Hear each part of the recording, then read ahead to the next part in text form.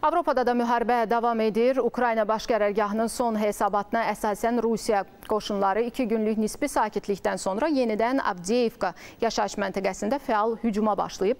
Tərəflər arasında son sutkada 90 toqquşma qeydə alınıb. Baş qərargahdan bildirilib ki, Avdiyevkadan əlavə Rusiya tərəfi Kupiansk və Marinka istiqamətində də hücumların intensivliyini artırıb. Ukraynanın bəzi kütləvi informasiya vasitələri Rusiya hərbçilərinin Avdiyevka istiqamətində bir neçə yüz metr irəlilədiyini yazır.